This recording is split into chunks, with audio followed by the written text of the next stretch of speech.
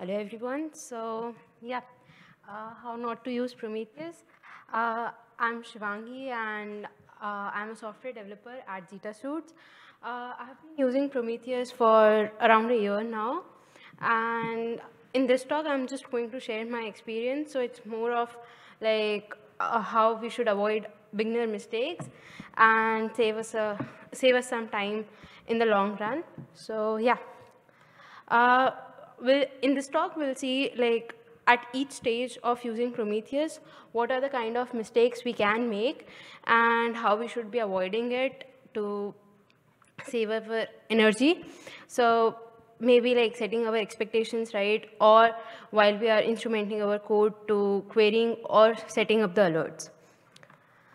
So setting our expectations right. What I have seen in my experience is that one of the biggest mistake that we can make while using Prometheus is to expect it to work as a logging or tracing solution or at times expecting it to give us 100% accurate results.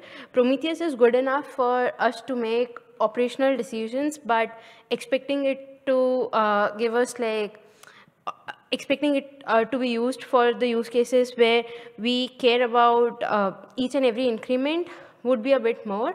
So we should try avoid that and when we have these expectations set right, we can avoid like lot of mistakes in long run.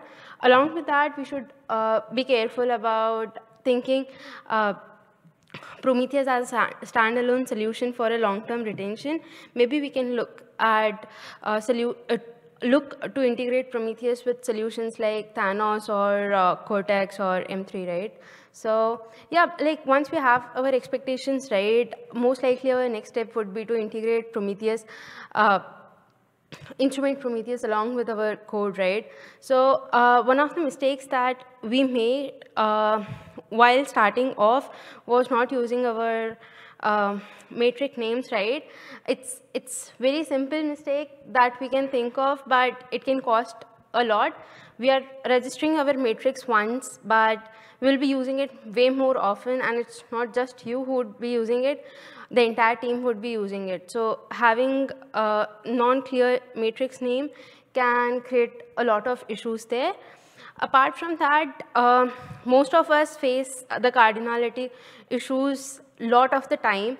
I think the best way to deal with it initially is to uh, have a rough idea of what cardinality you would be introducing with your matrix and just have it like maybe if you are cre creating a PR or in your commits just mention that this is what cardinality you are expecting. Uh, that saves a lot of time. Um, by this time, like most likely you would be having a Prometheus setup uh, and you can see your matrix in, in some endpoint, uh, but you have to configure the targets later on so that uh, Prometheus is able to scrape your matrix. Um, uh, you can play around with the scrape interval and retention time as you like, but uh, just keep, uh, just try to uh, keep the scrape interval and retention time within the limits. Otherwise, you can see like broken graphs, which would eventually not be very useful and you have to go back, refactor and like just spend a lot of unnecessary time over there. Along with that, uh, relabeling has been something which comes in very handy. Uh, you don't need to deploy your code again and again if it takes time. You just can uh, uh, use the relabeling in your configurations and you're good to go for some time till you deploy your code changes.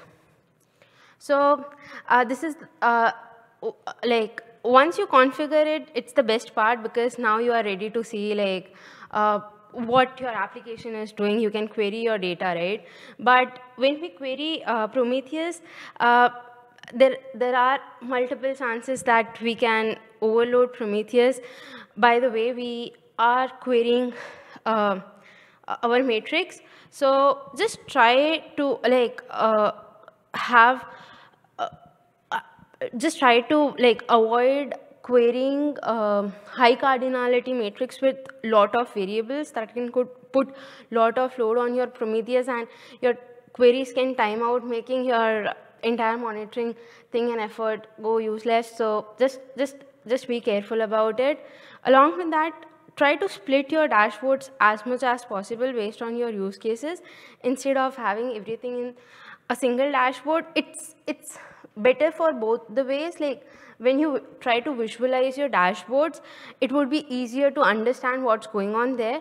Along with that, uh, it will be like way it will it would load up pretty quickly. So yeah, try to do that. Uh, so while we were setting up the alerts, we we had way too many noisy alerts. And one thing that we learned was every now and then we would figure out, okay, the timing that we set between two of the alerts was way too less or either we were not setting up proper dependencies. So for example, if I'm getting uh, alert uh, on that uh, my success rate of the application is pretty low, but I'm also getting the alert that uh, my application is not working. So like having the dependency between two can help you not get overwhelmed with the alerts. Um, and as important as it is to get uh, less noise in alerts, it's equally important to uh, not miss out the alerts. So um, if you know like how you can avoid uh, having the missing matrix, uh, try to do that, but at least have some idea beforehand that you have missing matrix for uh, whatever use case and try not to have alerts on top of it or expect alerts to be triggered on top of it. So yeah, I think oh, like these are some of the use cases which we can take care of at the initial stage and if we avoid it, we can save a lot of time going back, refactoring our code. Um, these are few of the resources that I have found pretty useful in my journey of learning Prometheus. And if you would like uh, to uh, dive deeper into these topics. They are like pretty interesting to go through. Uh, yeah, thanks and like free, feel free to like um, use the slides uh, if you like. So yeah, thank you.